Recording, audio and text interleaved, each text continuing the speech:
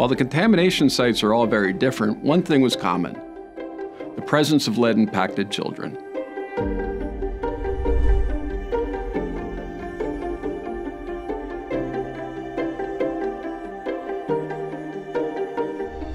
We used a portable LeadCare kit which uses a fingerprint and gives the results in minutes.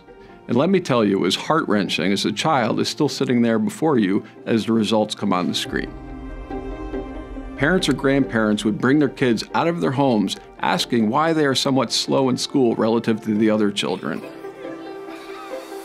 So, even though you might not be able to see the lead contamination at these sites, the impact to the children is very evident. My name's Gordon Binkhorst. I'm a contaminant hydrogeologist, and I've spent my career investigating and cleaning up contaminated waste sites, predominantly in the United States.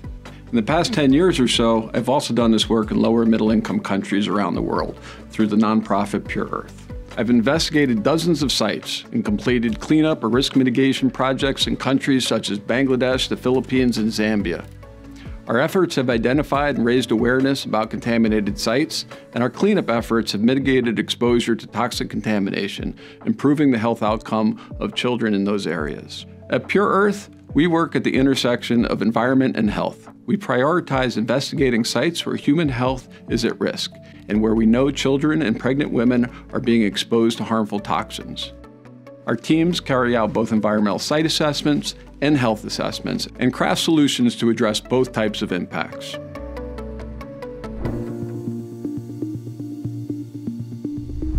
Our environment gets contaminated from both point sources and non point sources. Examples of non point sources are stormwater runoff, acid rain, or runoff from agricultural sites containing pesticides and fertilizers. Point sources can include industrial sites, electronic waste processing facilities, mining facilities, and waste dump sites. Each of these examples can include different contaminants, like mercury from artisanal gold mining or various petroleum products from underground tanks, dioxins, furans, uh, the list goes on and on. Another important source is the recycling of lead acid batteries, largely from cars, trucks, and e rickshaws. Battery recycling operations in lower and middle income countries typically range from backyard recycling with open pit smelting to substandard formal recycling facilities with poor emission controls. Both tend to spew toxic lead into the air that gets deposited in soil, on crops, and dust in people's homes. Environmental contamination can impact our soil, groundwater, surface water, and air, and usually a combination of all of these The parts of our environment that are contaminated and what they're contaminated with generally determines how humans can be exposed and what the potential impacts might be. When we investigate a contaminated site, it's important to realize that every site is different. They have different contaminants, different geology, different histories. One looks at a site contaminated with mercury from artisanal gold mining very differently from a site with contaminated lead from informal battery recycling, for example. We also employ different investigative tools. For instance, use of a portable XRF might be suitable for screening of superficial metals at ground surface and soil, whereas collection of deeper soil and groundwater samples for testing in a laboratory would be more appropriate for a gasoline spill. Each site investigation has to consider the contaminants of concern, how they were released into the environment, how these contaminants behave in the environment over time, and the physical characteristics of the site, things like geology and depth to groundwater. Site investigations also identify human and ecological receptors, pertinent regulations, and risk based cleanup goals. A thorough and high quality investigation of a contaminated site is extremely important to guide the effective cleanup or risk mitigation work.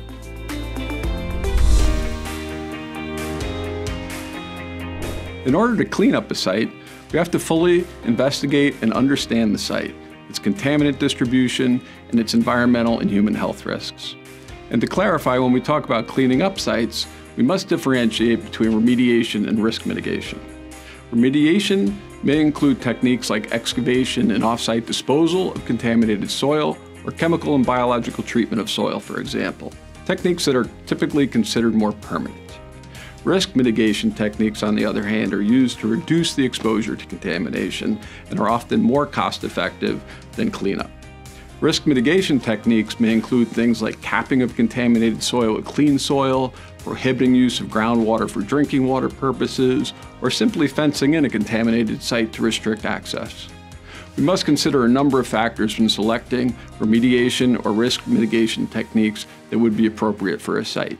Such factors include things like available resources, cost, technical feasibility, effectiveness, public acceptance, and long-term sustainability. Whatever we do select, we can always evaluate the effectiveness of our remediation or risk mitigation work through blood lead level monitoring, both before and after the work has been completed. The effectiveness of our cleanup or risk mitigation work can also be evaluated through routine inspections of the site to check things like soil concentrations of lead or to make sure the restrictive fencing or the capping elements are still in place. Note that most cleanups are risk-based. Typically, cleanups do not return the environment to a pristine condition, but to some acceptable level of risk. Regulatory and health agencies have developed risk-based cleanup standards for most contaminants in different media, be it soil, groundwater, or surface water. For instance, the US EPA currently uses a lead concentration of 200 parts per million in soil for lead, as an acceptable level for children in play areas. This is an example of a risk-based cleanup standard. The vast majority of cleanup work or risk mitigation work utilizes such risk-based standards in evaluating options to address environmental contamination and potential human impacts. It's very difficult to prescribe a certain cleanup or risk mitigation strategy without a complete site investigation, as each site is very different. Thus, certain types of sites share characteristics which may be more amenable to certain strategies. For instance, an informal battery recycling site with open pit smelting typically includes very shallow contamination spread over a very large area through atmospheric deposition during smelting. We can clean up such a site by scraping the superficial soil for off-site handling, for example, while addressing other potential exposure routes like groundwater or impacted crops by other means. Other sites with deeper contamination might warrant risk mitigation instead of cleanup, depending on logistics and available resources. Such risk mitigation can include capping with a geotextile and clean soil to mitigate direct exposure risk, along with long-term monitoring and maintenance plan to ensure sustainability. Addressing sites with contaminated groundwater might also include restricting use of the groundwater in the area for drinking water purposes, along with provision of an alternate potable water source like a deeper community well.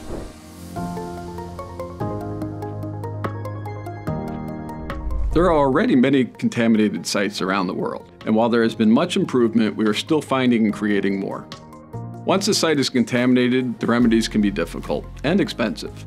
Accordingly, prevention of new sites is really important.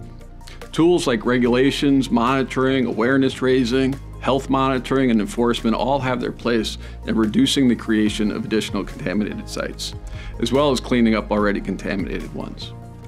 Governments, the private sector, civil society groups all play an important part. Awareness and education is critical. An informed public can recognize what polluters are doing and can take action to protect themselves, their children, and their communities. From Pure Earth's work across 50 lower and middle income countries over the past two decades, we have learned that most people are not aware of the dangers of toxins like lead and mercury. Once they do understand the health risks, especially to their children, they become powerful protective advocates and can drive polluters away in some cases. An informed public can also pressure government agencies to take action to regulate industry and prompt cleanup or risk mitigation at sites. For already contaminated sites, it's important to note that remediation should be the responsibility of the owner, the so-called polluter pays principle. Although in practice this doesn't always work out well, as the polluter has either abandoned the site or has gone bankrupt. I have focused on contaminated sites today. However, there are many exposure sources to lead, including lead-adulterated spices, food cooked in aluminum cookware, lead-containing foods, ceramics, soil contamination, toys, cosmetics. Unfortunately, the list goes on. The sources of lead exposure and their various contributions to elevated blood lead levels in children is highly variable.